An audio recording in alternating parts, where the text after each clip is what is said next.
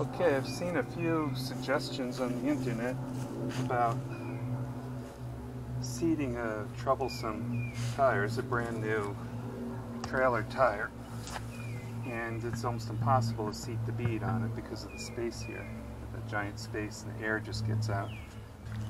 Unfortunately, somewhere I have the proper kind of chuck which would allow me to fill this without um, having the valve in, so you get all that volume of air.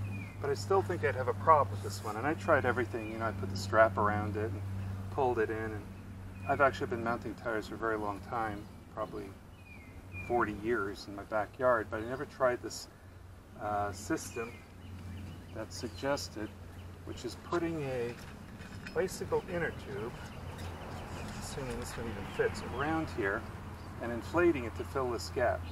And I'm going to see if it works with a regular air chuck and I can get this uh, tire seated on the bead, which would be nice. Okay, I'm going to start with a little bit of soapy water. I'm going to soap this sucker up. Just a little bit of Dawn detergent. Hopefully makes a better seal around the, uh, like between here and the tire rim.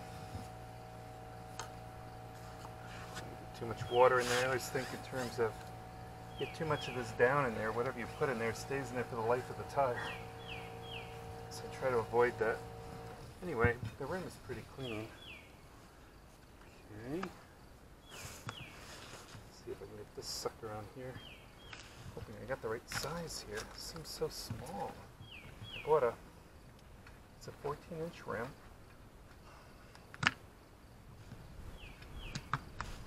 Seems, seems wrong. Let's see what happens here. There we go. Just pull the cap off. Okay. Let's see what that does.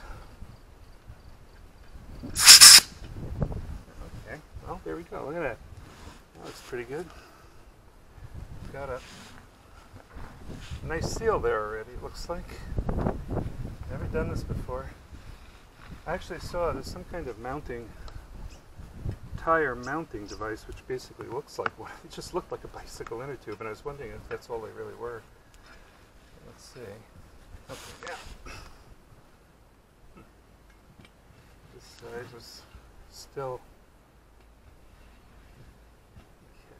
okay. Alright, now I put that down in the tire where I'll never get it out again.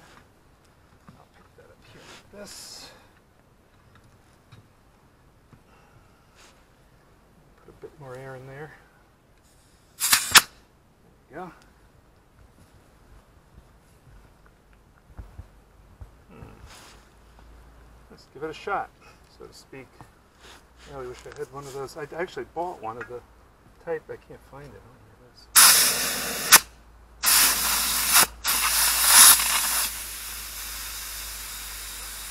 Oh, I'll be damned.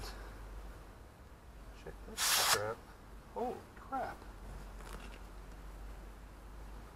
bits of grass in there. That'll always be in there. It's actually freaking working.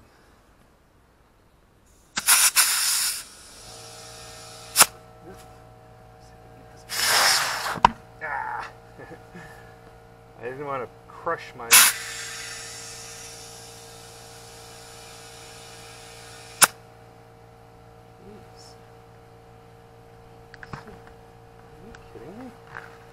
Alright, that's just impossible. That's like some kind of goddamn magic, I gotta tell you. Oof. Boy, that took the fight out of it. Well, I'm gonna put my fingers in there, which I just did. I think I'll just dribble this in there now. Uh, a little bit. I don't think it's going in the tire because I think the bead's almost there. Yeah, see, it's only probably 20 pounds there max. Didn't hurt this either. I was worried it would like pop that sucker. Okay.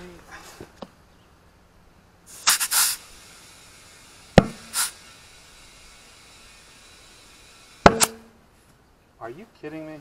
Well, I saw a couple of guys do this on the web. It's just so hard to imagine that it would actually work. There you go. Bicycle inner tube. And this, of course, is the size of the, the rim I bought. I thought it was way too small. It looked too small, as you saw, like stretching it on, but um, it's a 14 inch rim. I bought a 14 inch inner tube. I think it cost six bucks. I was sorry about paying six dollars at the time because I didn't think it would work. Turns out it was pretty cheap.